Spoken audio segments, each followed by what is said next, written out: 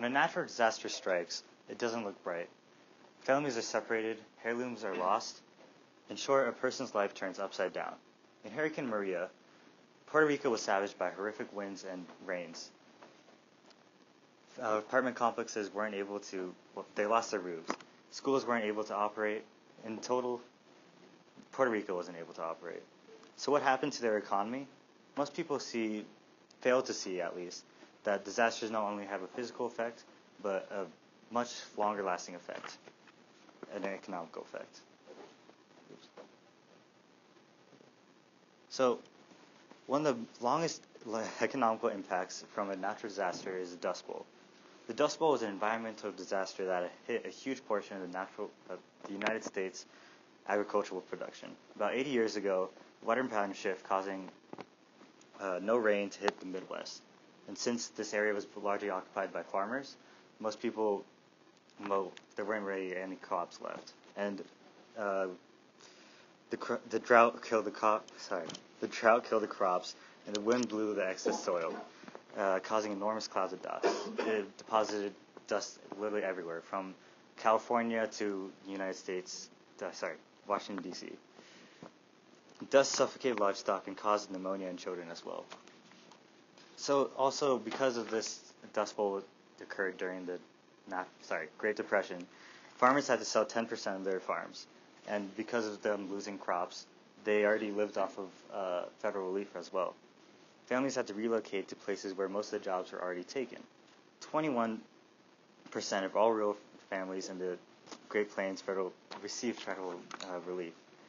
It was estimated that about $1 billion was spent trying to give them federal relief as well. And that's just in 1930s money. Now that would be about 167 trillion dollars. Uh, many places are now unfarmable due to this natural disaster.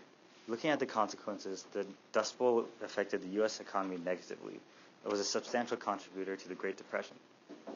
The Great Depression also was basically like a coin, and as a coin, there are two sides of it. And there were some good products that came out of this reaction. As the economy decreased 50% within the first couple of years of the Great Depression, uh, people lost their faith in Hoover and decided to go ahead and vote for FDR. FDR was able to use government money to create programs for federal relief and Social Security, and as well as to fight the war on poverty. By writing the New Deal, a series of programs and policies of release, reform, and uh, recovery, FDR gave jobs to those in poverty which resulted in some of the greatest monuments of America being born, such as the Great uh, Golden Gate Bridge and the Chrysler Building. Now, many of you know about one of the most famous natural disasters, Hurricane Katrina. It's been over 10 years since Hurricane Katrina hit. It was one of the most devastating natural disasters out of all of the disasters that hit the U.S. It was the sixth strongest hurricane to ever come out of the Atlantic side and uh, the third strongest to hit the United States. It costed over 100 billion dollars roughly, and since a lot of losses were in low income, since mainly a lot of the losses were in low income areas that didn't have a lot of insurance, 300,000 homes were left un, uninhabitable. Katrina left about 118 million cubic yards, which uh, is about 18,000 football fields of debris. It also damaged 90% of the U.S. oil production, as it hit mainly outside of the inland. It damaged about 457 ga- oil and gas pipelines and spilled as much oil as in the Exxon Valdez disaster. The after effects included oil prices to jump from $3 a barrel and gas prices closer to $5 a gallon. The economy was in the U.S. was growing at 3.8% before Katrina. After Katrina, it was about 1.8%. And these were just some of Katrina's immediate effects. The hurricane forced 770,000 people to relocate, and not many of them returned as well, as uh, they didn't want to go because their homes were lost. Everything before them was lost. Their office buildings were lost. It also hurt the New Orleans port, causing 260 million in damage. Uh, like, and also hit some of their key industries like the sugar, chem- chemical factories, uh, the shrimping industry, and as well as casinos and many of these businesses had to relocate as well. Federal government helped by giving 120 billion, but that still hasn't seen has helped a little bit. In June of 2015, the labor force was about 660,000. Sorry, 606,000. And then that's compared to June of 2005's 632,000, which is the month before Katrina hit. But what something that we've seen recently is that the unemployment rate has reduced from 15.9% in October, so a couple months after the hurricane, to 6.1% in the June of 2015, as we can see right here. So 15.9% and now around 6.1%.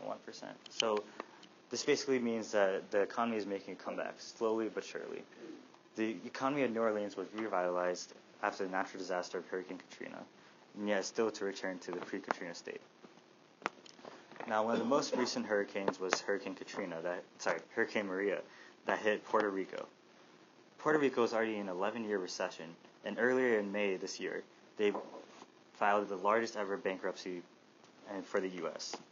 For my primary research, I decided to interview one of my uh, friends who was uh, the survivor of Hurricane Maria.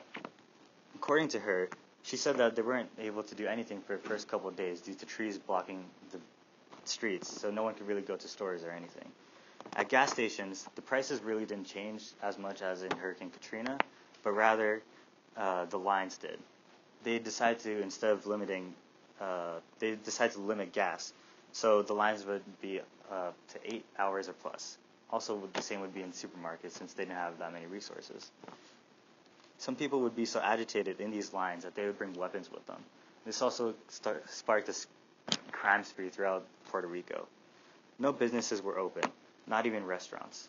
It was estimated that around over six it would take over six months just to readjust, sorry, re take back the electrical grid. Baxter, one of the major manufacturing countries, sorry, uh, manufacturers of IV bags, had three factories in Puerto Rico. Uh, after 10 weeks, still one of those factories was being ran off of diesel. And because of this diesel engine and generating and just a whole bunch of mess after the hurricane, it ended up being that most of them were well, there's an IV bag shortage over the whole of the U.S. Doctors ended up conserving all of their IV bags and making sure that uh, pharmacies wouldn't get them. It was basically becoming who would be able to save more people, and for now that would be pharmaceuticals. Uh, with Puerto Rico losing the electrical grid, is also moving out of the territory and manufacturing plants being incapacitated. The economy in the U.S. has changed and will continue to change throughout the next couple of years to accommodate the large losses that Puerto Rico went through. All the disasters I stated were not expected to be that big of a deal. Yet more than 10 years later, New Orleans is still recovering from Hurricane Katrina and may never reach its height before the hurricane. Hurricane Maria has hit Puerto Rico, causing similar systems to hit the overall economy due to the electrical grid being completely knocked out of the island for three plus months, has hurt the U.S. from coast to coast.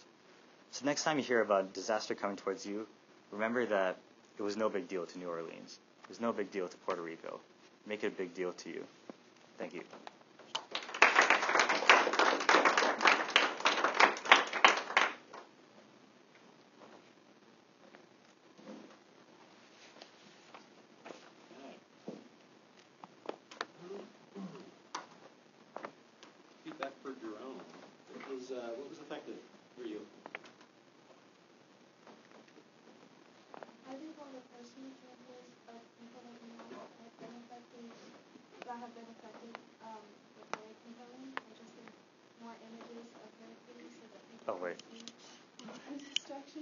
Sorry, I forgot about that. That's good.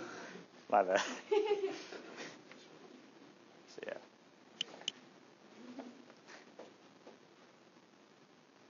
Yeah.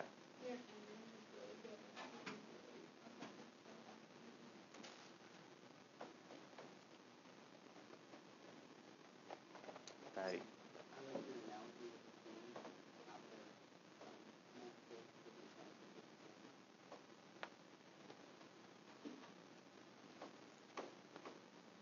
like something more relatable to us,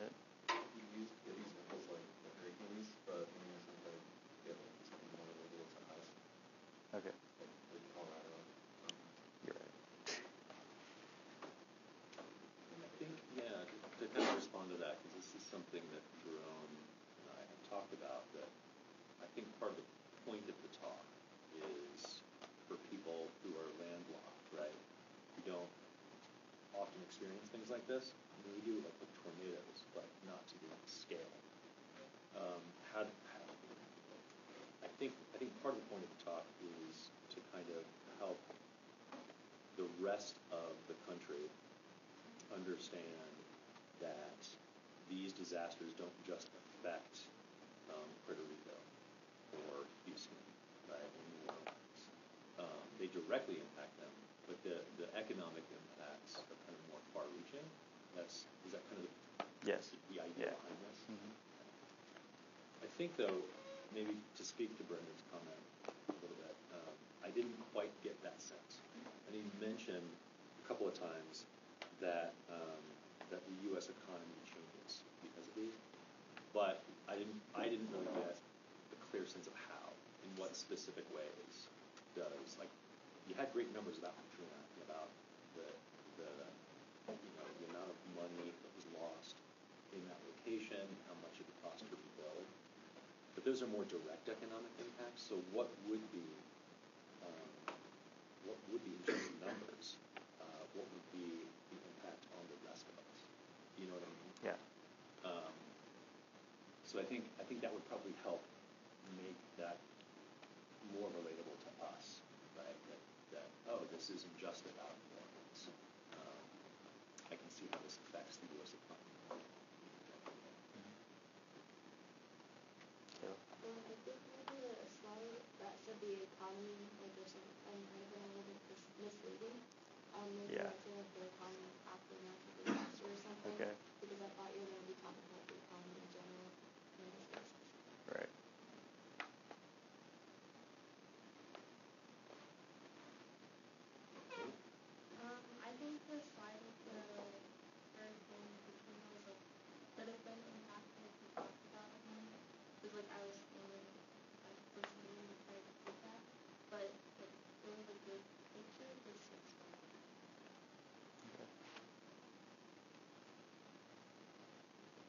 maybe take take a few pieces of that of, of the information, right. some of the numbers, and put them on different screens as you're as you're talking about. Yeah.